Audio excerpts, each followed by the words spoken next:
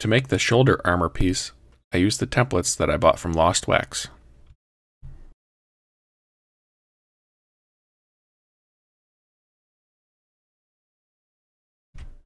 This guy's YouTube videos really are entertaining and helpful, and this bundle that he sells is a great value.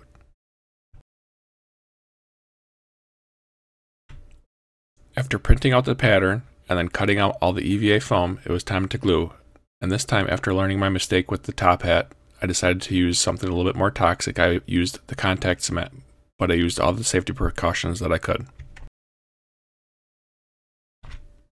I still use the hot glue gun for the non-structural parts and the little decorative pieces.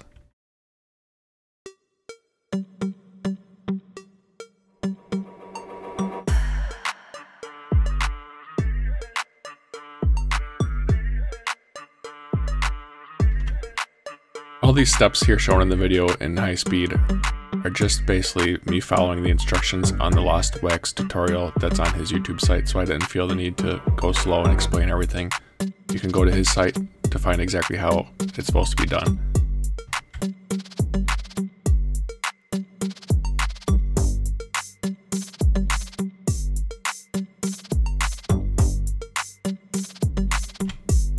So at this point, the main structure is complete and it's time to add some decoration.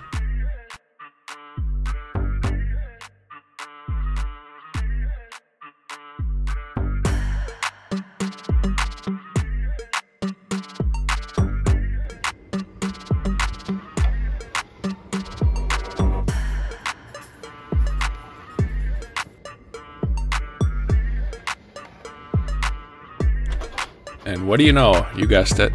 More templates, more cutting of tiny little parts.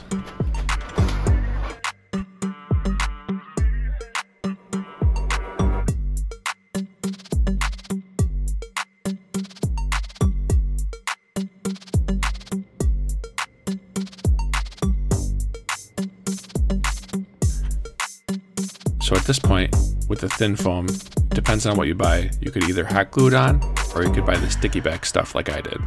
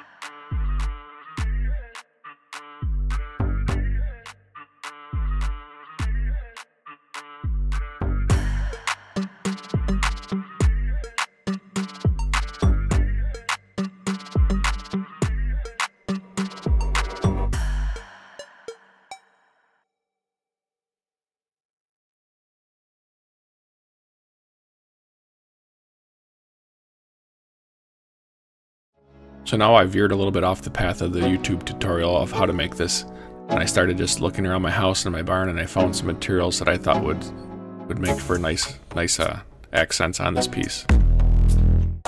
I found some rubber tubes, some plastic plumbing supplies, just little little parts that I tried things to see what worked, and came up with something pretty cool.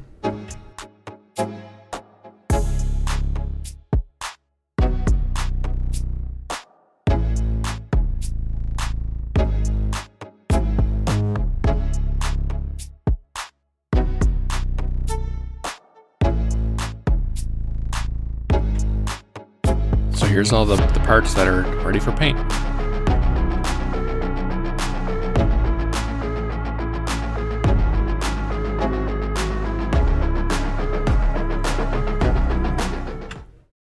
So first I added a coat of black paint to the entire shoulder piece.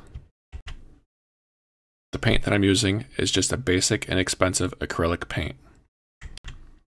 In some of my other cosplay costumes, I first primed the EVA foam with Plasti-Dip. In this case, I wasn't very concerned about the adhesion of the paint because there's not a lot of flex in this in this particular cosplay costume. Once again, the paints that I'm using is the Deco Art Americana Decor Metallics in three different colors. I'm using silver, vintage brass, and antique bronze. So my application technique for this is basically finger painting. I just dip my finger in, get a little bit of paint and rub it around and then it, it, the paint does all the work. They look really nice. They look very metallic.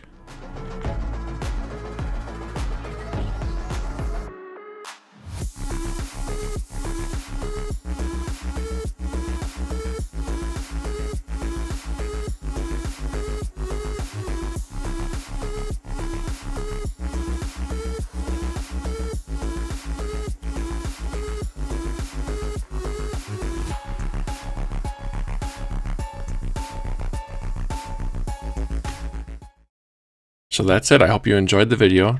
A special thanks to Chris from Lost Wax. His YouTube videos and his templates were, were very helpful in this process. And I hope you enjoyed watching. And if you decide to make one yourself, good luck. And if you have any suggestions for what I should make next, leave a comment below. And don't forget to like and subscribe. Thanks for watching.